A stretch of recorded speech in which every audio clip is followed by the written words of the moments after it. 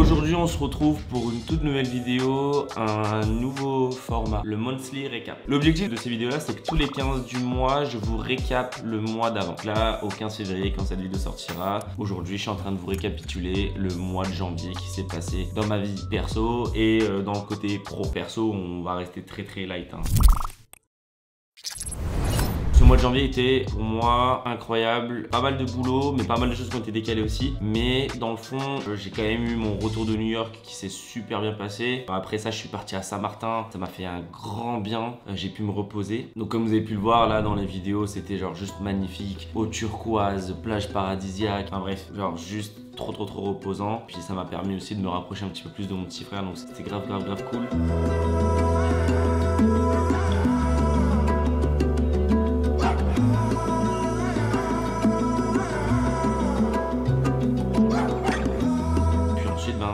À Dubaï et ça faisait euh, trois mois que j'étais plus rentré euh, sur Dubaï. Comme je le dis, je le répète, à chaque fois que je reviens sur Dubaï, je suis toujours euh, omnibulé par l'atmosphère que dégage ce pays et l'envie que ça te donne d'aller chercher plus loin et de te reconcentrer et d'aller pousser en fait tout le côté business. Donc trop bien. Enfin bref. Dans ce format, du coup, comme je disais, on va distinguer deux parties. la partie du coup purement agence, donc Rachid Media par laquelle je vais commencer, et la partie Sofiane Rachid, du coup YouTube avec tout ce qui s'est passé puisque aujourd'hui, j'ai lancé ma chaîne. Quelle arrivée fracassante. Du moins, euh, avec une bonne vidéo euh, avec Academy Biel qui a bien marché, donc c'était grave cool. Mais revenons du coup à la partie Rachid Media. Avant de rentrer dans le vif du sujet, un like, un commentaire, on partage et on s'abonne. Si la vidéo te plaît et que mon contenu te plaît, fais-le moi savoir. C'est toujours appréciable du coup de voir un peu les retours qu'on a, de voir des likes, des commentaires.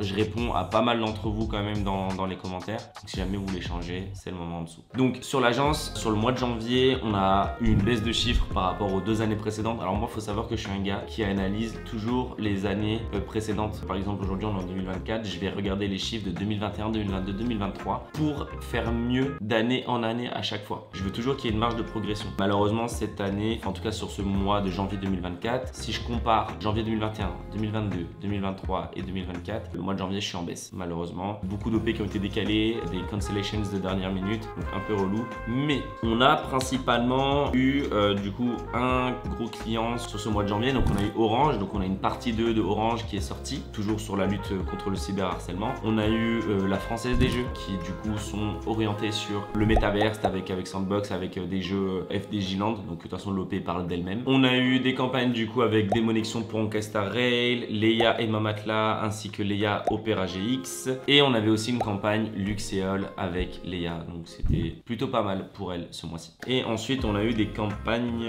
avec euh, Jabel le chômeur pour Hero Wars et Gamey sur sa chaîne Minecraft avec World of Warship. Donc c'était un petit mois, c'était très léger ce mois-ci. On a eu 9 contrats, c'est content. Souvent les marques en début d'année, ils font souvent tu sais des récaps de ce qui s'est passé sur 2023 euh, sur euh, Noël, etc. Et après, ils définissent les budgets qu'ils vont réinvestir. Donc bon, on s'attend pas toujours à des gros chiffres, mais bon, moi, dans mon envie d'atteindre certains objectifs, j'ai toujours envie euh, de faire plus d'année en année, comme je l'expliquais tout à l'heure. Donc un peu décevant, mais c'est pas grave, c'est le jeu. Je pense que je vais essayer de me rassurer en prenant trimestre par trimestre et voir une croissance à ce niveau-là par contre. Après avoir du coup signé tous ces deals-là sur le mois de janvier, on s'est aussi surtout occupé des mois suivants. Donc on a eu Otakos à gérer. Pour info, là on est le 11 janvier et à partir de fin janvier, donc d'ici 2-3 semaines, il y a leur tout nouveau menu qui va sortir, ça s'appellera le tacos Oh Wow, donc c'est un menu à 5 euros avec un tacos en forme de triangle avec euh, des nuggets et de la sauce algérienne dedans. Donc pourquoi les nuggets et tout ça? Bon, ça fait partie de, toute la communication autour. Ils reviennent aux origines, ils reviennent aux sources. Donc on a tout ça à voir chez Otakos. Notre objectif aujourd'hui pour nous, ça va être de réfléchir à un concept vidéo pour Otakos. On a un contrat qui a été signé avec plusieurs activations. Euh, donc cette vidéo normalement devrait sortir aux alentours du 15 février. Donc à ce moment-là, je peux, me permettre euh, d'avancer certaines choses parce que le menu sera déjà sorti. Par contre, la vidéo d'Ademi Bilel et les petites activations sortiront d'ici une semaine ou deux. Si je suis bon dans les timelines, donc euh, plutôt fin février, début mars. On est déjà le 11 janvier et on est déjà en train de bosser sur des campagnes qui arrivent dans deux mois. Et ça, c'est trop bien parce qu'on a le temps de bien réfléchir et de pouvoir se poser, d'appeler une prod et de faire pas mal de choses. Donc, l'objectif là, ça va être de tout mettre en place euh, A à Z, euh, du script à l'idée jusqu'à la réalisation. On va prendre une camionnette, qu'on va aller floquer aux couleurs de. Bref, un vrai délire. Et tout ça, ça va être réalisé par le poteau William Thomas, normalement. Parmi les interdictions qu'on a avec Otakos, c'est de ne absolument pas filmer quand on cuisine ou quand on touche au tacos. Euh, c'est quelque chose qui ne veulent absolument pas. Je suppose que c'est par rapport à leur image. Ça reste un tacos au tacos, donc euh, qui a été réalisé dans les cuisines de, de Otakos par Otakos et pas un tacos fait maison, fait main par Adem Bilel. Sinon, ça n'a plus la même valeur. Donc, c'est, je pense que c'est quelque chose sur un point de vue com qui est hyper important et je trouve qu'ils ont totalement raison. Bref, cette vidéo elle devrait être tournée à Grenoble par rapport à, leur, la ville d'origine du tacos, etc. Donc, on va réfléchir à tout ça et ensuite j'irai capter euh, Adem et Pour faire l'appel avec William Thomas et tout mettre en place. Donc, du coup, finalement, euh, on n'avait pas été les capter. Euh, on les capte que là maintenant, donc là, on va les manger avec eux. Mais on va surtout parler de deux OP de partenariat. Faut qu'on signe Otakos et Genshin. Bah, là, on est devant. Bah, tiens. Salut Voilà le boss. Comment tu vas? Ça va? Je suis en train de filmer la suite de mes aventures, frère. Et il faut qu'on parle, parce que Romain, il est pas content. Ah merde, je sais très bien ce que c'est. Wesh. Ah, tu sais c'est quoi? Bah oui, c'est le message que tu réponds pas. Ça va, tranquillement? Ouais, toi? Manger, on va écrire euh, l'OP au tacos. Tu vas écrire Ouais, faut qu'on écrive tout. J'écris tout comme ça, il va les tout et comme ça on est carré et on fait ça ensemble. Et comme ça dans la nuit, je leur envoie. Moi, je, suis en- je pars en nuit blanche de toute façon là. Ah, tu fais tout. Ouais, je fais tout et comme ça il valide tout. Moi, je vais skier. Non, mais au tacos, on fait ski. Par contre, faut que tu te concentres sur Genshin Impact. Effectivement. J'ai vu aussi. Faut que vous vous concentrez sur Genshin Impact. Romain il m'a demandé la vidéo doit sortir demain, vous avez pas tourné de vidéo On tourne quoi du coup? Je sais pas, vous vous Vas-y, je débrouillez. mon idée. Vous vous débrouillez.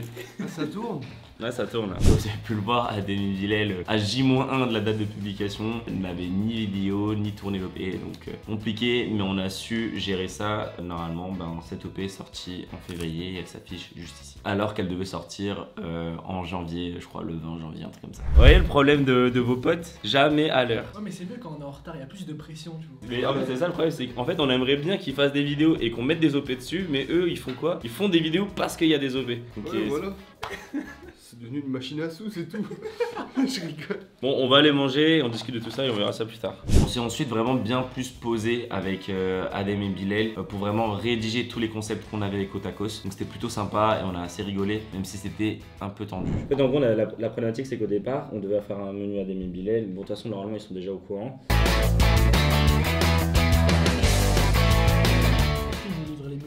Tacos ou il va falloir rentrer dans un au tacos, aller chercher un stock? Ça, ça, ça va faire partie des trucs qu'il faut qu'on voit avec eux. Et en gros, l'objectif du délire, c'est un peu en mode essayer de choper une réaction en mode waouh. Et vu que le menu c'est oh waouh, tu vois, ça serait une dinguerie si on arrive à avoir ça, Waouh, tu vois. ouais. c'est bon et pas cher. Mais un truc naturel, genre en mode euh, putain, 5 euros, waouh, 5 balles.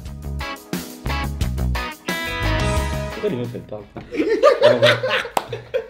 Faudrait qu'on voit. Je, je peux potentiellement venir, tu vois. Mais euh, après, du coup, si je viens, faut que je reste une semaine en France. J'ai la, flemme de revenir juste pour ça, tu vois. Laisse tomber. Imagine, je reviens juste pour. pour- je, je fais un aller-retour à Grenoble, frère. En fait, moi, j'ai- j'aimerais bien trouver au moins un truc dans la vidéo qui fait que. Waouh, trop stylé. Je sais pas si tu vois ce que je veux dire. Là aussi, je veux toujours faire mieux, du coup, j'arrive pas à capter. Bah, t'as donné rendez-vous à tes abonnés pour leur distribuer des, des, des tacos. En vrai, ça va être déjà stylé, non? Après ça, on s'est occupé de Léa, donc du coup, avec son contrat avec euh, Igral. On va parler des contrats avec toi directement. Il y a le deal euh, Igral, c'est votre Je lui ai hantise. dit, je lui ai dit, je veux bien Igral tant qu'ils me font pas comme ils t'ont fait à toi. Regarde les échanges. Mais regarde, ils ont dit quoi? À travers toutes nos collaborations, nous souhaitons qu'en gros la vidéo elle ait un lien avec l'intégration. Tu vois Et c'est ça date d'un an, on avait proposé un concept euh, avec, avec Nabil où en mode euh, genre tu tournais euh, une vidéo, euh, tu sais genre t'achètes certains produits, tu les testes. On peut le faire à Dubaï ça. Mais derrière en fait ils veulent avoir la main mise sur le contenu derrière aussi. Ça devient une vidéo dédiée en fait. Ah, ça. Mais moi elle m'a dit ouais euh, fais-moi un retour si c'est un no-go. En mode si t'as pas envie d'y aller à cause de ça. Ah, moi ça me dérange pas, mais du coup c'est plus juste une intégration. Moi, ce que je leur ai dit, je leur ai dit que dès le départ, on va essayer de faire un truc qui soit carré, comme ça, on ressent pas le fait que ce soit une vidéo dédiée. euh, Tu vois ce que je veux dire? Ouais, mais ça c'est sûr et certain. Après, Igral, euh, si on veut prendre le deal, c'est un deal et Igral, ils font comme ça tout le temps. Peur que ça me bloque en fait On peut réfléchir à une idée de contenu qui peut leur plaire. On écrit une vidéo et on leur enverra. Ce qu'on fait, c'est qu'on écrit la vidéo et ils nous font valider avant qu'on tourne. Comme ça, une fois que c'est tourné, genre, ils nous font pas chier, tu vois. Contrat n'est pas encore signé. On a quelques problématiques auxquelles il faut trouver des solutions. Parce que vous avez pu le voir du coup, bon je pense que c'est pas un secret, hein, Igral sur le marché euh, de l'influence, ils sont assez connus pour être intransigeants sur certains aspects et veulent vraiment avoir euh, la main mise sur un contenu complet qui ne leur est pas destiné vu qu'ils payent une intégration et pas une vidéo dédiée. donc ils devraient pas avoir le droit de regard, mais bon, on essaie de concilier un peu les deux parties. Donc comme vous avez pu le voir, du coup Léa elle est un peu réticente à cette idée là. Donc euh, à l'heure actuelle, le deal est toujours en discussion. Ça fait plus d'un mois qu'on est en discussion. Le mois de janvier a aussi été un très bon mois niveau prise de contact. Donc on a eu énormément de demandes pour rejoindre l'agence. On a pu avoir Elliot et Lilian qui nous ont contactés. Ils viennent m'envoyer un message et je crois, je pense, hein, qu'ils veulent, euh, signer chez moi. Donc on va écouter ça ensemble. Euh, discuter à propos de ton agence. Franchement là ça fait quelques semaines on a arrêté les cours etc pour se lancer à fond sur les réseaux. Et là on essaie de vraiment de faire un truc sérieux etc. Et euh, comme on, connaît assez, assez bien des etc. J'avais suivi un peu l'agence tout ça et j'ai vu que franchement, ça avait l'air d'être un très bon projet, etc. Donc ça, nous intéressait de fou. Euh, moi, pour vous expliquer, on a quand même énormément de profils du coup qui nous démarchent euh, de ce type-là, euh, qui nous démarchent pour signer avec nous. Nous, on a une problématique, c'est que on n'a pas envie de signer des profils simplement pour les signer. Nous, on signe des profils pour vraiment les accompagner et être sûr certain de, leur apporter quelque chose. on a fait un appel avec Nuevins, qui est un des profils qui pour moi va énormément péter dans le domaine du foot. Ça, c'est un profil qui moi personnellement m'intéresse parce que je sais que son contenu risque d'intéresser et d'attirer nos marques qu'on accompagne déjà. Donc il faut vraiment que la balance soit 50-50. Maintenant, si on signe des profils mais qu'on pense ne pas pouvoir leur apporter quoi que ce soit, c'est quelque chose qui, moi, va personnellement me déranger. J'ai pas envie de signer de, l'exclusivité alors que je ne leur apporterai rien. On perd en valeur. L'agence perd en valeur et c'est pas du tout ce qu'on veut. On reçu aussi un petit message, bon ça du coup c'est un peu du flex. je vais euh, le faire écouter parce que je trouve qu'il est grave stylé. J'ai reçu un petit message et ça me fait grave plaisir de recevoir des messages comme ça. Donc du coup, je vous fais écouter le message juste pour vous montrer un peu, vous plonger un peu dans, dans mon monde. Vous avez une notif, je m'attends pas du tout à savoir ce que c'est et puis finalement c'est un pur bonheur d'écouter ce genre de choses. Salut, salut Sofiane, bah écoute, y a pas de souci. De toute façon, je t'avais euh, souhaité juste comme ça pour la nouvelle année parce que tu fais partie des personnes incroyables que j'ai rencontrées euh, en 2023 et euh, juste pour te donner la force et tout. D'ailleurs, il y avait... Voilà, donc incroyable, c'est trop bien, trop bien. Le mec m'a envoyé un message euh, la bonne année et puis, euh, puis voilà. Et au final, dans ce message-là, il me dit que bah, je suis une de ses meilleures rencontres et ça fait grave chaud au cœur. Ça fait trop trop plaisir de recevoir ce genre de message-là. Trop bien. Second temps, là j'ai Joe Lavani euh, que je dois m'occuper. On a deux trois choses à voir avec lui. Je vais l'appeler tout de suite. Allô Ouais, Schmecton, ça dit quoi? Ça va. J'ai fini mon call à côte à cause donc c'est bon, je suis dispo. J'ai pas énormément de temps, je vais avoir 10-15 minutes max donc dis-moi. Je regarde ça tout de suite, vas-y, vas-y à toutes. On a pu discuter avec le DVM Show, donc avec Medja, pour 2-3 projets de sponsorisation à l'année. Donc c'est une première prise de contact, donc c'est plutôt pas mal. Ouais, salam Medja, ça va? Ouais, ça va, tu vas bien, tranquille? Tranquillement, tranquillement, tranquillement.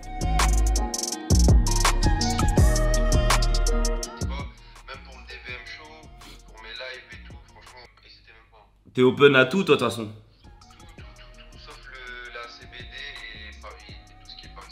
Ouais, ouais, ok, ça roule, ça roule, ok. Vas-y, frérot. Vas-y, ça roule, vas-y. Vas-y, à plus. À tout, ciao, ciao. Bon, finalement, l'e-sport c'est mort, mais bonne nouvelle, on débloque du coup l'accès à des VM Show pour les prochaines OP de plusieurs autres clients. Donc, Bénéf. J'ai aussi du coup été récupérer les statistiques pour une campagne que j'ai pu faire avec Unchained pour rendre du coup des comptes à mon client. Là, il faut que je fasse le reporting de toutes les statistiques d'une des OP qu'on avait fait avec euh, Unchained. C'était pour euh, Dragon Air et euh, l'OP s'est super bien passé. La vidéo est passée en top 3 tendances donc c'était trop bien. Par contre, il faut qu'on fasse le reporting des stats. Donc là, on a le client qui nous demande énormément, énormément. Il nous demande de savoir combien d'heures ont été vues, les vues moyennes, le pourcentage de vues euh, des abonnés, enfin des, statistiques folles. Donc en fait c'est ça la réalité. Euh, derrière les vidéos ou derrière les OP une fois qu'elles sont postées, c'est derrière l'agent ou l'agence doit récupérer toutes ces données là pour faire comprendre à la marque que leur investissement et leur paiement portent un peu leurs fruits, en tout cas du moins un minimum. En parallèle, je viens de recevoir un message euh, de fou. J'ai un de mes potes qui fait ses 30 ans, cette fois à Dubaï, il s'appelle Salim, donc c'est Salim Kless je vais très certainement, c'est demain, donc je viens de recevoir l'invitation. Ça a l'air d'être une dinguerie. Pour ceux qui écoutent de la house, on a Notre-Dame, donc un des meilleurs DJ, en tout cas du moins, il a deux trois sons qui sont, sont fous et que j'écoute quasiment tout le temps, surtout l'été et tout, qui sera là. Et ensuite après ça, vers le milieu du mois, j'ai du coup profité un petit peu et puis j'ai été me faire une petite soirée sympa avec un de mes potes. Enfin bref, du coup, on a vraiment mélangé tout ce qui est un petit peu vacances, repos, donc en début de janvier, développement de la boîte avec des calls et des prises de contact avec des influx et des projections de euh, sur les mois à venir, puis un petit peu de fun en sortant un petit peu l'anniversaire de 2-3 poteaux. Je vous cache pas que c'était un mois quand même assez mouvementé. À côté de ça, j'ai aussi repris le sport, donc que ce soit le foot et la salle de sport, enfin la muscu. Donc voilà, c'est assez important pour moi de, rester focus là-dessus. C'est un peu ma solution à moi pour décompresser de toutes ces accumulations-là. Ce mois de janvier, ça a été aussi et surtout le lancement de ma chaîne YouTube. Bon, ça a été lancé euh, euh, mi-décembre, mais ça a pété mi-janvier avec la sortie du coup de l'interview d'Ademi Bilel, donc Backstage épisode 1, qui du coup a vraiment été un carton. On est quasiment proche des 200 000 vues à l'heure actuelle où je vous en parle. Donc c'est magnifique, les retours ont été super cool. Et du coup, ben, petit teaser, on a la semaine prochaine, donc mercredi euh, 21, la vidéo Backstage avec Tixi qui sortira. Le lancement de cette chaîne du coup et euh, du coup des formats que j'ai pu lancer, notamment Backstage et la présentation de ma chaîne et le Backstage que ce soit moi, donc l'épisode 0 Genesis et ou bien celui d'Ademi Bilel, m'a permis en fait d'attirer pas mal de profils intéressants qui sont du coup venus euh, vers nous et qui voulaient absolument bosser avec nous. Donc c'était des profils qui étaient réticents à signer en agence, mais d'une manière ou d'une autre, le contenu que je propose et la transparence que j'ai pu avoir avec certains talents a donné envie en fait à certains profils de venir nous contacter, d'en savoir plus. Donc on a eu un call avec Ben Pichard. Hello hello, Hello, ça va? Ça va, tu vas bien? Pour l'instant j'ai pas de questions, euh, c'est parfait. Ok, bah écoute nickel. Merci beaucoup en tout cas. une très bonne journée. Merci toi aussi, à très vite, ciao, ciao. On a eu un call avec Alex euh, LXL68, euh, du coup youtubeur GTA qui aimerait signer chez nous et hyper hyper pertinent à avoir, surtout euh, aux horizons du coup de GTA 6 qui arrive très très très prochainement. Allô? Allô allô, ça va tu vas bien? Salut, ça va et toi? Ça va, ça va nickel. Avec Arad, avec Nuevins, avec Crypto. Donc voilà, pas mal de profils. Donc ça en fait 5 pour un premier lancement sur un premier mois qui veulent signer chez nous et qui sont intéressés par notre agence. C'est plutôt sympa. À l'heure actuelle, du coup, on en a signé 3, 2 qui sont plus ou moins en stand-by, refus. En cas, de bosser avec en exclu parce que je pense qu'on n'est pas capable de leur apporter euh, ce qu'ils attendent de nous. Et comme je l'ai déjà dit, on n'a pas envie de signer de l'exclusivité pour bloquer des personnes pour rien. Du coup, welcome euh, au sein de l'agence à Alex LXL68, welcome à Arad et welcome à Crypto. Un total de plusieurs millions d'abonnés que nous représentons en plus au sein de l'agence aujourd'hui. De l'autre côté, j'ai pu aussi appeler euh, Médicament, qui est un monteur avec qui je bossais depuis un petit moment. Ça fait deux ans qu'on est en discussion et qu'on a certains projets en commun. Donc c'était le moment de s'appeler et de discuter d'une opportunité pour monter une nouvelle boîte ensemble. Du coup, l'objectif de cet appel, ça va être de mettre en place tous les process, essayer de réunir une équipe efficace pour qu'ensuite tout roule et que derrière on puisse enchaîner et enchaîner et que moi de mon côté je puisse créer vraiment un ensemble de boîtes vraiment très très très complémentaires au sein de Rachid Media, au sein de mon agence, enfin bref ou même au sein et autour. Comme je vous ai dit cette année j'ai vraiment envie de déployer en fait tout mon arsenal d'outils et de services numériques en tout cas digital que je peux apporter dans le monde euh, en tout cas digital ou bien de l'influence ou bien autour de mon agence. Donc euh, on a fait un petit appel avec Mehdi aussi par rapport à cette boîte de montage qu'on souhaite créer. C'est la fin de cette vidéo, j'espère que du coup ce petit format plus ou moins court, euh, moyen court vous a plu. Donc comme je l'ai dit, n'oubliez pas de vous abonner, de liker, de partager. Si vous avez des questions, commentez, je serai ravi de vous y répondre. Vous pouvez aussi me contacter sur Insta, donc juste ici, Sofiane Rachi. Si jamais vous avez des questions ou autres et que vous souhaiteriez euh, vous entretenir avec moi, euh, n'hésitez pas, je réponds vraiment à tout le monde en DM. N'hésitez pas à me dire ce que vous avez pensé de ce format. Est-ce que vous voulez peut-être un petit peu plus d'insight, un peu plus euh, d'infos? Tenez-moi au courant. En tout cas, je vous souhaite une bonne journée. C'était Sofiane, à plus.